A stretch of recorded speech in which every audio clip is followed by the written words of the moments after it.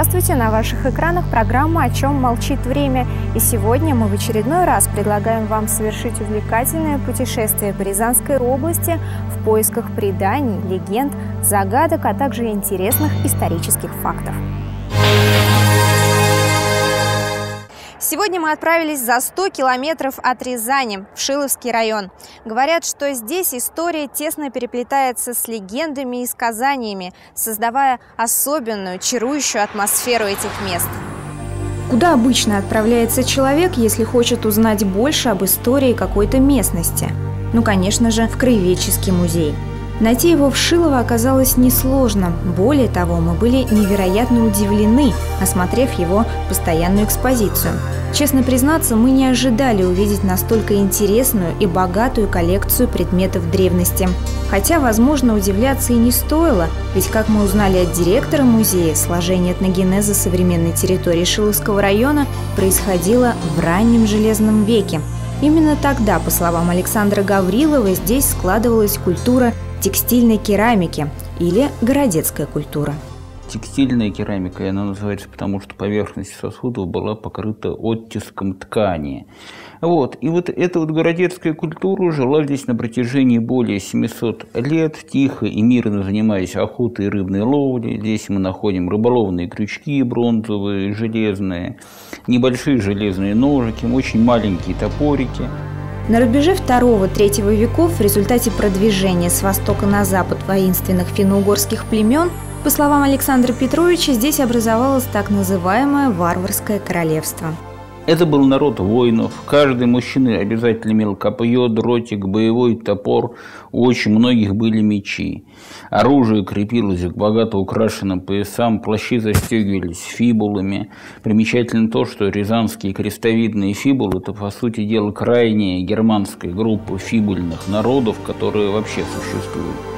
Здесь же мы можем увидеть реконструкции костюмов, характерные для тех времен. Что интересно, мужчины практически не пользовались защитой. Исследователи не находят ни щитов, ни панцирей, только оружие нападения. А вот костюм женщины вообще вызывает множество вопросов у неподготовленного посетителя. Ну, например, зачем рязаноокской девушке скальп? Ни одна девушка рязаноокская не могла выйти замуж, не убив врага, не сняв у него с головы скальп и тем самым как бы доказав свое право на замужество. Поэтому к поясу мы находим придороченные скальпы. Это еще очень гуманные традиции, сарматы вообще нижние челюсти вырубали. Вот. У резаноокцев было полное равноправие. Один мужчина мог иметь несколько жен, одна женщина иметь несколько мужей. Наследование шло по женской линии. То есть царем становился не сын царя, а муж дочери. Помните, как в русских народных сказках Иванушка, дурачок? Вот, в общем-то, именно через сказки, через какие-то вот эти вот блины те же самые, мы и прокладываем мостик вот к тем дославянским народам, которые, по сути дела, являются основой русского государства. Все экспонаты музея, словно кусочки мозаики, складываются в одну грандиозную историю края. Вот детский башмачок, которому около полутора тысячи лет. Вот многочисленные трофеи, привезенные воинами из далеких стран. Индийские ложки с изображением богини Кали, египетские скоробеи, римское тончайшее стекло. Вот замечательный стакан пятого века нашей эры. То есть, в общем-то, уже в то время люди что-то пили, как-то жили. Вот. Подумать даже страшно, из какой э, ну, дремучей дали он приехал к нам сюда, потому что это буквально с другого конца света того времени. Как его привезли, он очень тоненький, может быть, в каком-то футляре, может быть, в какой-то каком-нибудь крабке в таком, сложно сказать. Помимо богатой коллекции стекла, Шиловский краеведческий музей обладает уникальной коллекцией тканей, которые также представляют огромный интерес для изучения ошибочно и неправильно мнение, что женщины раньше ходили в каких-то серых, однотонных одеждах. Полосатая ткань, зеленая кофточка, оттороченная по краям красной лентой, тесьма, бахрома, выбеленный лен. То есть все эти ткани, желтая ткань, использовались в очень широком спектре. Коллекция оружия также вызывает восхищение. Кстати, на территории Шиловского района до сих пор находят его образцы. Так, например, совсем недавно обычными рыбаками был найден римский меч. Во время обвала берега, собственно, вышел такой вот меч. Данный меч является римским мечом. Это одна из самых восточных находок римских мечей на территории России, собственно. Данные мечи встречаются, то есть примерно в третьем тысячелетии нашей эры. Э, меч изготовлен из дамасской стали. Об экспонатах этого музея можно рассказывать часами, но не только древними артефактами полна Шиловская земля.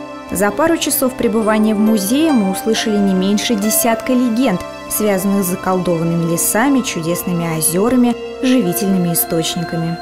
Вы знаете, легенд огромное количество в любой местности. Просто вот э, я говорю, 40 лет мы занимаемся изучением легенд и преданий. Больше, э, очень многое мы не знаем, очень многое мы упустили.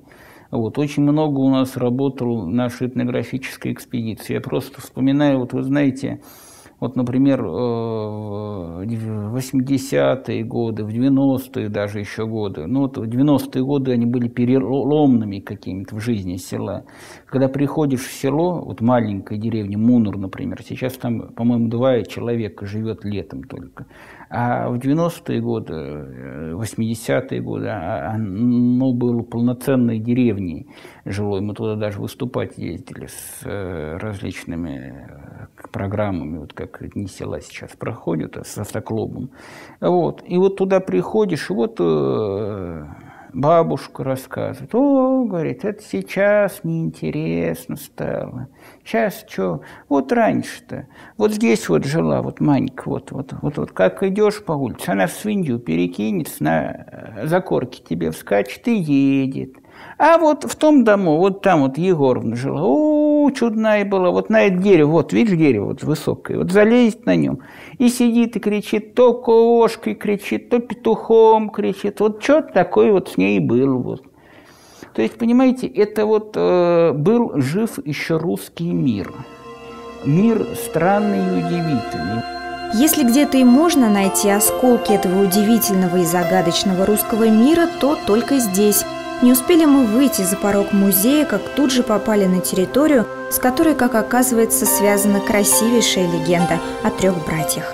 Вот полюбилась младшему брату княжна мордовская, и они решили убежать. Убежали вместе с братьями, но вот здесь, в самом Шилове теперешнем, на улице Рязанской, э, воины, которых э, отец послал следом, э, все-таки их настигли, так, братьев побили, перебили, а дочку повезли к отцу.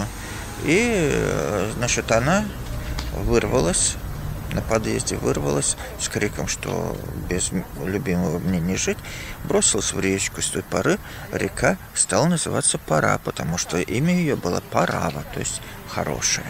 Вот.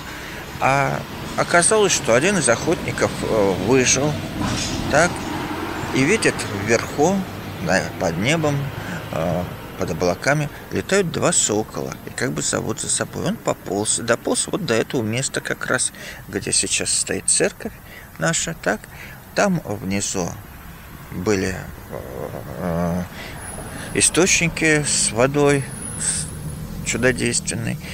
Соколы приносили ему еду, он выздоровел. И вот однажды, э, когда уже значит, жил в полуземлянке, так, вышел на берег Оки и видит, что что-то необычное плывет. И подошел он к Оке и увидел, что против течения плывет икона. Но это потом он понял, что икона. Он взял в руки предмет и сразу просветлел. Это была икона Успения Божьей Матери, потому что это был день как раз Успения. И вот э, став просвещенным, так сказать, придем в христианство, так вот от природы, от чуда. Он построил церковь, так, а к нему стали приходить, э, значит, другие люди. Так возник, э, вот, возник небольшой городок Нерск, Нерская, или потом впоследствии Шилово. Каждая легенда, рассказанная Андреем Гавриловым, связана с определенной местностью Шиловского района – так что мы отправились на поиски источников некоторых из преданий.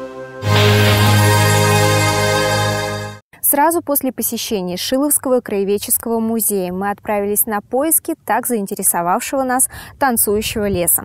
Однако в местечке под названием Дубровка мы наткнулись на развалины старинного поместья, которое некогда, как оказалось, принадлежало известному роду Голицыных. И здесь не обошлось без легенд. По одной из них эти земли были дарованы князю Голицыну самим Петром I во время Азовского похода. Петр I проплывал по Оке. Э, рядом с ним на палубе стоял его фаворит э, Голицын князь. Это герой, Бородин, э, герой Полтавской битвы. Вот. Ну и Голицын говорит, ой, как красиво, государь. Петр сказал, красиво, ну и владей. И отписал ему деревню Акулова с несколькими э, тысячами десятин вокруг. А потом в XVIII веке князья Голицына приобретают Дубровку, и она становится уже их вотчиной непосредственно. Наверное, об этом месте можно было бы узнать много чего интересного, но наш путь лежал в лес, который кто-то называет танцующим, кто-то пьяным, а некоторые и вовсе ведьминым. Мы без труда нашли этот довольно-таки большой участок леса, где деревья растут не просто вверх, а изгибаются самым причудливым образом. При этом большая часть деревьев отклоняется к северу, а некоторые вовсе закручиваются в кольца и спирали. Древние люди верили, что если пройти под изгибом вот такого дерева, можно излечиться от всех болезней или же получить в дар колдовские знания. Конечно, это всего лишь сказки, но, как известно, сказки на пустом месте не рождаются.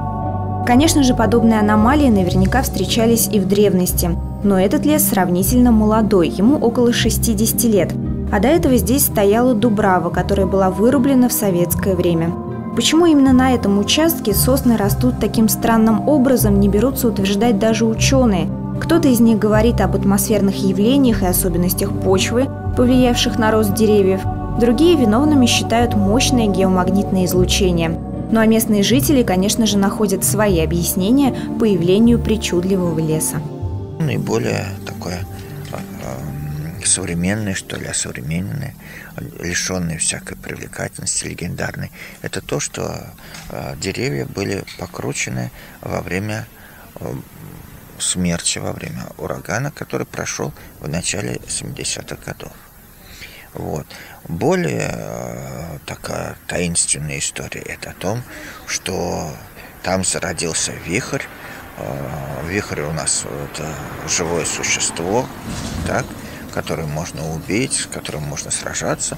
Но вихрь зародился именно на том месте, где когда-то в древности произошла битва двух соперничающих колдуней.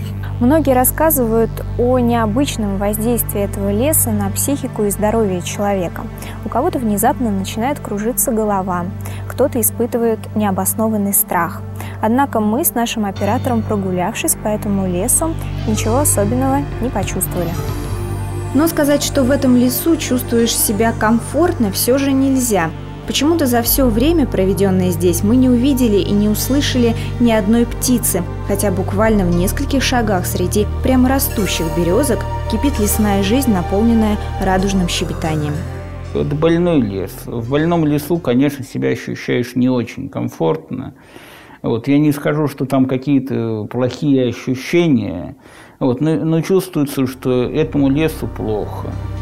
Как бы то ни было, послушавшись совета местных, мы не стали задерживаться в этом лесу и отправились к озеру Чудино, еще одному источнику загадочных историй. Это озеро расположилось в живописном местечке под названием Терехово. По легенде, это село основал один из трех братьев-разбойников – Терех. Поговаривают, что награбленное золото до сих пор находится в бочке вот в этом озере, но вот увидеть его может только человек с чистой совестью. Видимо, нам с оператором стоит задуматься о ее чистоте. Бочку, как ни старались, мы не увидели. Однако не только этим знаменито озеро. По одной из легенд, на дне этого озера находится затонувшая церковь.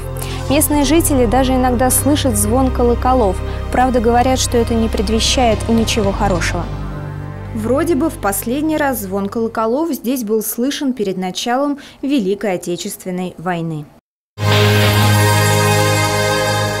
Шиловская земля буквально окутана легендами. Кажется, что здесь оживают русские народные сказки.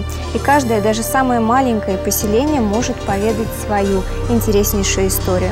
Но рассказать об этом в рамках одного выпуска программы просто нереально. Так что я надеюсь, мы еще вернемся сюда и продолжим этот удивительный рассказ. Ну а на этом программа «О чем молчит время» подходит к концу. Мы желаем вам всего самого доброго. Увидимся в следующих увлекательных путешествиях.